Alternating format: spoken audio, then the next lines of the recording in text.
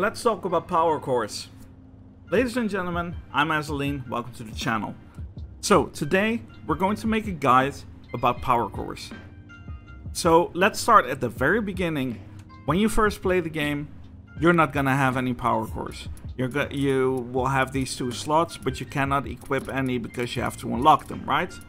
Okay, so let's quickly go over the various power cores that are currently available as of right now. So you have two different types of power cores. You have active ones, you have passive ones. There are currently three active ones. So let's go over them real quick. We have magnet. It magnetizes the ball towards your car. It pulls the bar towards you. It's a very useful one used in high elo games by experienced players a lot and you unlock it by getting 30 stars in solos. Next one we have quick flip. Quick flip allows you to do a quick flip, hence the name, and it will um, it will allow you to gain speed. You can use a forward flip, you can use a side roll, basically what you're used to, but it's faster. And we have shock. Shockwave creates a it creates a shockwave from uh, the center of your car outwards. If it if it hits your ball, it will uh, it will bump push the ball away. Simple. Those are your three active ones. You can only equip your active ones in this power socket. I pers personally, my personal choice, I like to go quick flip I like the burst of speed. I like the powerful hits on the ball. This is what I go with. Now let's talk passive power cores. Passive power cores are power cores you do not manually activate. They are active all the time while you're playing. That's that's what passive means. You don't have to do anything. So you have eight passive power cores right now. You have big ball. It increases the size of your ball you get it by unlocking 10 stars in solos. We also have small ball. It does the exact opposite. It decreases the size of your ball, makes it small. You get this by winning a match. Just win one match. You get one win, you unlock this. Curveball. It adds even more spin to your ball. Your ball naturally has spin. It will curve if you hit it on the side. So if you hit it dead center, it's going to go straight. If you hit it on the left side, it's going to curve to the right. This is going to make the curve even stronger. It's going to curve more. I personally don't like using it. I guess there are certain situations where this can be useful or people like to use it. Try it out and see what you think. You unlock this by getting 70 stars in solos. This is the hardest one to unlock. Next we have Spring Ball. It increases the bounciness of your ball, which means when your ball hits the floor, it's going to bounce up more. You unlock it by getting 50 stars in solos. Now, over here we have Straight and Steady. This is a very beginner-friendly power core. I would suggest people that are new to the game to try to unlock this to make your game easier it completely it, it removes spin from your ball so when you hit it it goes straight you can no longer curve it however this is going to make it easier for you to hit like the boost rings and to hit the power-ups on the field so this is going to be very friendly for beginners or people that are learning the game to unlock this one you have to hit 20 boost rings in online matches Online matches means solos does, does not count. You have to do this in multiplayer. Next one, we have Double Dash. Double Dash is a popular one. It's a good one. It allows you to use your dash twice in a single jump. In this game, when you jump, you're uh, and you jump again, you can dash forward. It gives you a burst of speed. It allows you to hit your ball faster. This one allows you to use your dash twice in a single jump. So you you simply go faster, you hit your ball, um, you can hit your ball hard. It's a good one. Next we have Hothead. This is a bit of a niche one. It's it sounds really good. It increases your boost power, but depletes it faster. It's When I started, I used this one. After a while, I switched off it because I barely noticed the difference of the boost power.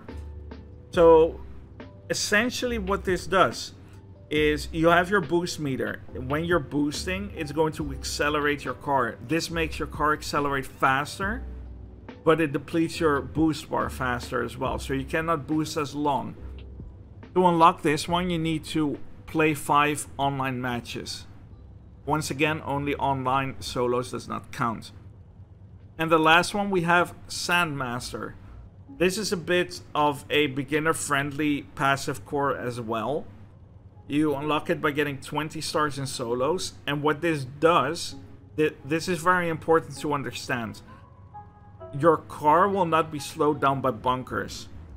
Note that it says your car. Your ball will still get slowed down. It's it's still going to slow down your ball. It's going to make your ball not bounce as much in a bunker. But when your car drives through, it's as if you are not driving through a bunker. You keep your speed. I like this one at the start because I didn't quite understand how to avoid the bunkers or uh, I didn't even know how to dash yet. So this is, uh, it's, it's effective for beginners, I would say. And you unlock this by getting 20 stars in your solos mode. So now, now it's the interesting part, right? So I will show you the combination I go with. I go with this combination. I like the quick flip I like the ability to do a fast flip and gain speed quickly. And I use straight and steady, which allows me to make it easier to hit the rings, to, uh, to aim my ball properly. And this is overall a pretty... It's a pretty solid um, combination to go with.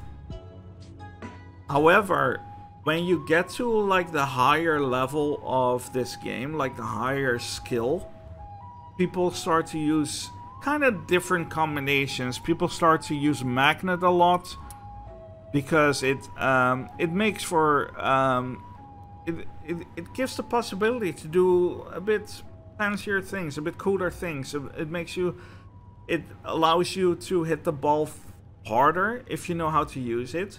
Like let's say the ball is slightly ahead of your car, right? And you can't hit it. You use magnet and it's going to pull the ball towards you, but at the same time you're driving against it. So it's going to create this massive force hitting your ball harder than usual. So that's the kind of things you can do with magnet. Or if you if you're someone that likes to go for the fancy stuff, like people have already been doing runs where they hit the ball up high at the start and they never let the ball touch the ground until it enters the hole. People are doing that already. It's it's freaking crazy. It blows my freaking mind. But this this helps with it. It it allows you to pull the to pull the ball to your car. It's a very popular one. In combination with that, a lot of people are using double dash to be faster. People want to be fast. This is a racing game. You have to keep that in mind. You want to be faster than everyone else. So the double dash is going to be very effective. I see, um, from my games that I'm playing, I see a lot of people like the small ball. There is some rumors going around that it it makes the ball lighter, so it will stay airborne a bit longer. I don't know if that is exactly true. The only thing we know for sure is that it decreases the size of the ball, thus at the same time making your ball a bit harder to hit, especially if you still have the curve on it. It's um, it's very hard to hit it dead center. I don't really see people use spring ball, to be quite honest with you.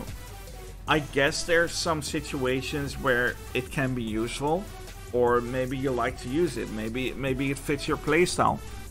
What I would overall suggest you would do is unlock all these cores. Just make sure you have them all and try out different combinations and see what benefits the way you play and what helps you. Don't don't use power cores because someone else tells you it's the best.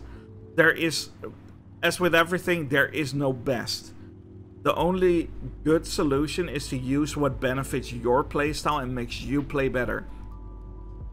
Now to give you a little bit more insight on how certain combinations can work, let's go over two combinations that we have been um, discussing on the TGR Discord and we were wondering what happens if you use them. Because I'm, I'm sure some of you are already asking, like, what happens if I put small ball over here, but I put big ball over here? What does it do? Does it increase or does it decrease? So we had someone test this out on our on the TGR Discord, and overall it basically negates each other. There was someone that was saying it makes it slightly bigger, but it was barely noticeable. And we had the same with what if we use straight and steady? And what if we use curveball over here? We, we had no idea what this would do. So we had our friend Neon on the TGR Discord try this out. I didn't own curveball at the time, but I knew it existed. And I was asking him, like, could you try out what happens if you equip these? Like, do they negate each other? Do, do does one cancel out the other? What happens? So he did a test on this. And actually we can I can just hop into a solo and show you. Like we now have curveball and straight and steady. Straight and steady should make your ball hit straight all the time. So what happens if we use this? What happens is it it negates each other it's going to add curve back to your ball, but it's not going to increase it. So you're still going, you're going, it's, it's like equipping no power cores. That's basically what it does. It's a useless combination that you should never be running unless you're going for some kind of meme out there or when, like want to show it off like this. So that is our quick overview and guide on power cores. Um, once again, to give you um, a bit of a ballpark on if you're new to the game, try to unlock, um, first of all, straight and steady. So focus on hitting those boost rings on the field, which are the, the rings that, that are up in the sky. If you hit it with your ball, it will launch your ball. That is going to be a very instrumental part of the game later on when you're going for fast times and you want to be faster than everyone else, it's going to be very important that you're capable of hitting those rings. So get used to hitting them and unlock straight and steady, for sure. Um, try to get your 20 stars in solos as well, so to get your Sandmaster. If you're struggling with that, it makes it a little bit easier. Keep in mind, even though you can equip active cores in this one, you don't have to. You can equip two passive ones like I have right now. Personally, what I use is the quick flip there, the straight and steady here, and I'm good to go. This is this is my go-to setup. It benefits my personal playstyle. It might not benefit yours. So try it out, see what helps what helps you the most, and see what um, makes you play better. So I hope this guide has been helping you understand how uh, power cores work, what they are, what they do, which ones exist. And I hope I'll see you on the course sometime. See you later.